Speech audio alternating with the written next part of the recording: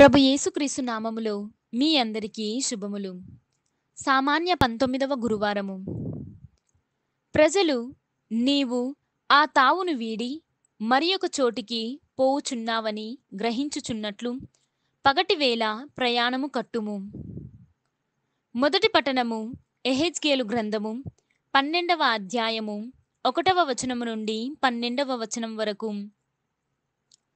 మొదటి పట్టణము ఎహెజ్గేలు గ్రంథము పన్నెండవ అధ్యాయము ఒకటవ వచనము నుండి పన్నెండవ వచనం వరకు. ప్రభువు వాణి నాతో ఇట్లనెను నరపుత్రుడా నీవు తిరుగుబాటుదారుల నడుమ వసించుచున్నావు. వారు తిరుగుబాటు చేయువారు కనుక కన్నులున్నను చూడరు చెవులున్నను వినరు. నరపుత్రుడా నీవు ప్రవాసి వలె నీ సామానులను మూట కట్టుకొని చీకటి పడక మునిపే ప్రయాణము కట్టుము. ప్రజలు నీవు ఆ తావును వీడి మరి ఒక చోటికి పోవుచున్నావని గ్రహించినట్లు చేయుము. అప్పుడు వారు తాము తిరుగుబాటుదారులమని అర్థము చేసుకొనవచ్చును. చీకటి పడక మునుపే వారు చూచుచుండగా నీవు నీ సామానులను మూట కట్టుకొని ప్రయాణము కట్టుము.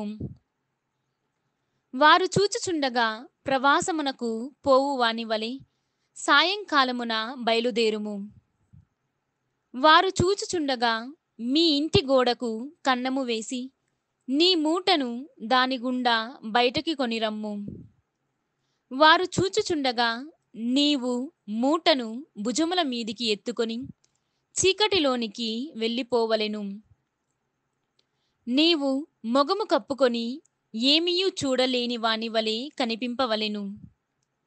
నేను నిన్ను ఇజ్రాయేలులకు గుర్తుగా నుంతును నేను ప్రభువు చెప్పినట్లే చేసి తిని. ప్రవాసి వలె నా సామానులను మూట కట్టుకొంటిని. సాయంకాలము నా చేతులతోనే గోడకు కన్నము వేసి ఆ రంధ్రము గుండా వెలుపలికి పోయి తిని. ఎల్లరును చూచుచుండగా చీకటి పడినప్పుడు నా మూటనెత్తి భుజములపై పెట్టుకొని బయలుదేరి తిని. మరునాటి ఉదయము ప్రభువు వాణి నాతో ఇట్లనెను నరపుత్రుడా తిరుగుబాటుదారులైన ఇజ్రాయేలీలు నీవు చేయునది ఏమిటని ప్రశ్నించుచున్నారు కదా? వారికి యావే ప్రభుడనైనా నా పలుకులుగా ఇట్లు చెప్పుము. ఈ సందేశము ఎరుసలేము పరిపాలనము చేయు రాజునకు అచట వసించు ప్రజలకును వర్తించును. నీవు వారికి సూచనముగా నుందువు. నీవిప్పుడు చేసినట్లుగానే వారికి కూడా జరుగును. వారు బందీలై ప్రవాసమునకు పోవుదురు. వారిని పాలించు రాజు రేయి మూటను భుజములపైకెత్తుకొని గోడలో త్రవ్విన కన్నము గుండా వెడలిపోవును. అతడు మొగమును కప్పుకొని ఏమియు చూడజాలకుండును. ఇది ప్రభువాక్కు సర్వేశ్వరునికి వందనములు. భక్తి కీర్తన. దేవుని కార్యములను విస్మరించకుము. దేవుని కార్యములను విస్మరించకుము. ఈనాటి సువిశేషము పునీత మత్తయ్య గారు వ్రాసిన సువిశేషము పద్దెనిమిదవ అధ్యాయము ఇరవై ఒకటవ వచనము నుండి పంతొమ్మిదవ అధ్యాయము ఒకటవ వచనము వరకు. ఆ సమయమున పేతురు యేసు వద్దకు వచ్చి ప్రభు నా సహోదరుడు నాకు ద్రోహము చేయుచుండా నేనెన్ని పర్యాయములు అతనిని క్షమింపవలయను? ఏడు పర్యాయముల అని అడిగెను. అందుకు యేసు ఏడు కాదు ఏడు డెబ్బది పర్యాయములు అని సమాధానమిచ్చెను. ఏలయనా పరలోక రాజ్యము ఇట్లున్నది. ఒక రాజు తన సేవకుల నుండి లెక్కలు సరిచూచుకన కోరెను. ఆ రాజు లెక్క చూచుకున ప్రారంభింపగనే కోట్ల వరహాల రుణస్థుడొకడు అతని సమూహమునకు తీసుకొని రాబడెను. వాని రుణము చెల్లించు శక్తి లేనందున రాజు వాని భార్యను బిడ్డలను వానికి ఉన్నదంతయు విక్రయించి ఆ రుణము తీర్చవలయనని ఆజ్ఞాపించెను.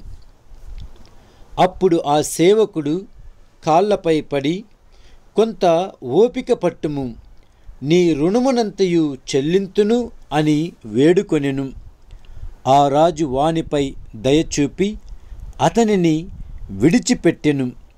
వాని అప్పును కూడా క్షమించెను.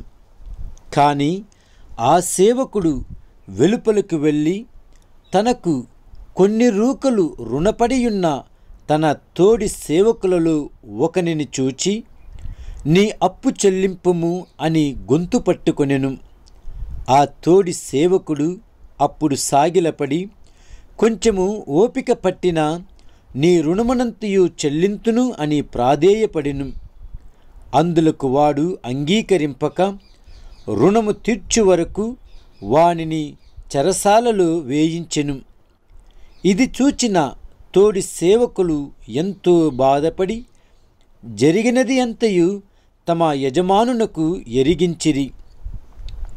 అప్పుడు ఆ యజమానుడు వానిని పిలిపించి నీచుడా నీవు నన్ను ప్రార్థించుటచే నీ రుణమునంతయు క్షమించి తిని.